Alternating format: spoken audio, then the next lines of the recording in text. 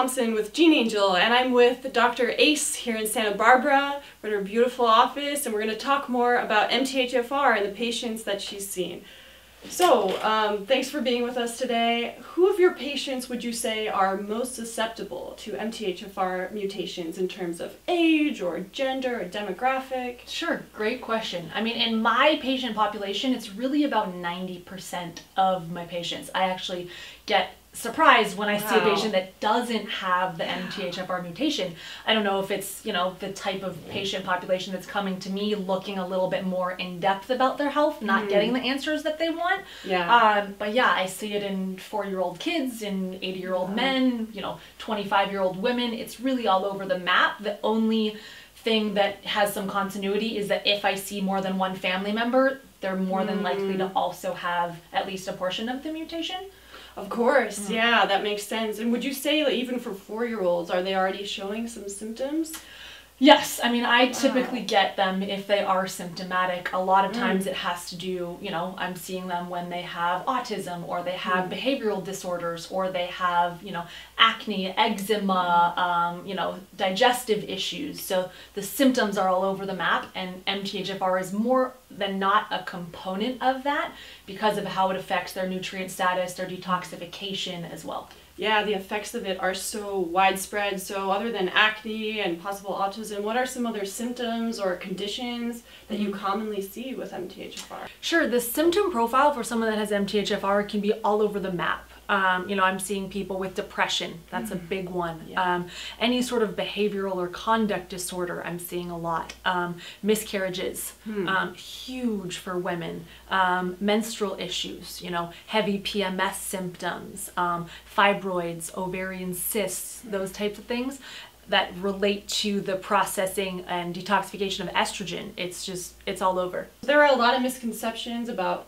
folate? Um, how do you recommend people better avoid folic acid, which is the synthetic form of folate in common foods and supplements. Sure. I mean, folic acid, the initiative to add it to foods was a, as a great idea in theory because, you know, we need the extra folate to help with neural development, especially in pregnant moms.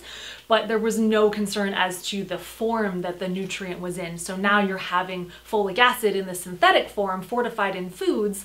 And really the best way to avoid that is you know, avoiding your processed foods, avoiding your processed cereals, your oatmeals, your breads, all those types of things that take natural healthy grains, um, healthy, debatable, um, but you know, fortify them with nutrients that are in toxic forms because it's actually been shown that increased folic acid in the blood correlates with increased risk of colon cancer. So it's mm. not a, a far-fetched theory. It's actually, hey, you know, that form of folate is is not good for us.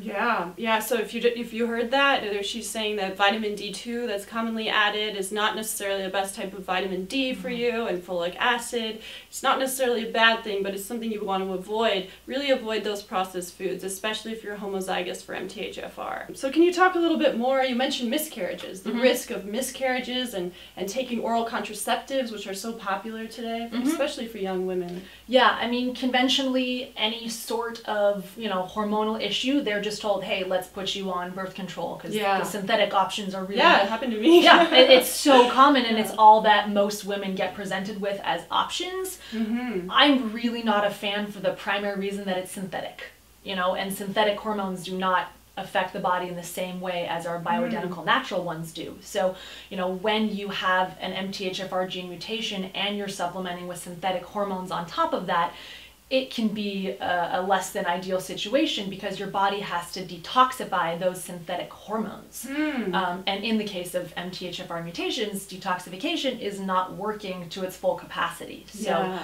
Um, yeah, there are lots of issues that can stem from that. So, really, it's figuring out do they have the gene mutation, supplementing them to help, you know, balance out the biochemical processes that are yeah. dependent upon yeah. the yeah. you know the mutations that are not working and you know bioidentical hormones working on nutrition liver support to help balance out those hormones so that we don't always have to use synthetic hormones so in the case of miscarriages, you know, it's so crucial to get women the vitamins in the form that their body needs. Yes, yes. And that that can be life life changing as well as supplementing with hormones that, you know, may not be adequate enough to support the, you know, baby coming to term. Hmm.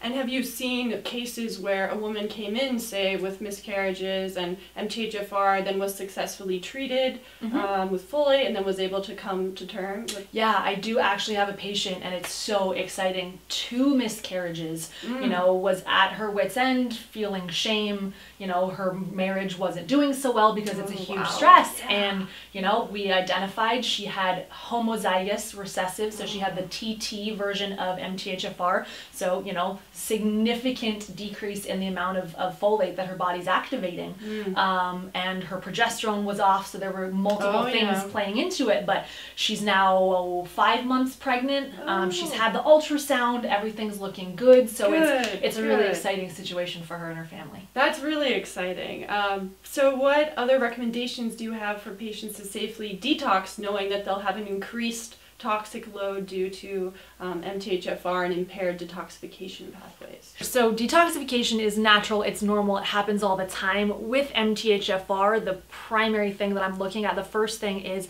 their glutathione. So glutathione being the body's master antioxidant and crucial for detoxification because of MTHFR mutation, usually the amount of glutathione that that person naturally makes is decreased.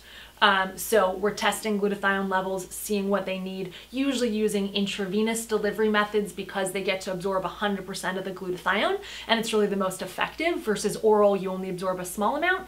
Um, but it's really, you know, making sure that the things like glutathione that support detoxification are actually in high enough levels and then looking at digestion looking at elimination looking at their ability to sweat all the routes that the body detoxifies and really supporting those So, what other supplements do you recommend for people with MTHFR besides folate? Sure. So B12 is absolutely crucial. B, B9 being folate and B12 as well, and making sure that they're actually in the active forms. Yes, Um, yes. is key. Um, and then depending on what other you know symptoms they present with, what other um, you know genetic mutations they may have, using other methylation cofactors. So SAMe, inositol. You know, there's a whole a whole list of them. If you only have MTHFR, that's one thing, but having one genetic mutation does predispose you to having more. So sometimes, you know, if patients are not getting, you know, symptom resolution and doing well with just supporting the MTHFR mutation, and we're looking deeper and seeing, hey, what else do we need to support your body with? Because there's always a reason. Yeah, there's always a reason. And if you're with Dr. Alexander Ace, you're going to figure it out. Uh, she's in Santa Barbara. She is accepting new patients. And if you want to learn more about your genes, go to geneangel.com. Thank you. Thanks, Alexandra.